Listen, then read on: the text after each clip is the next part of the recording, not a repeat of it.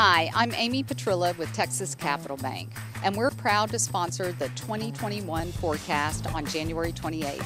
We look forward to seeing you there in person or on screen.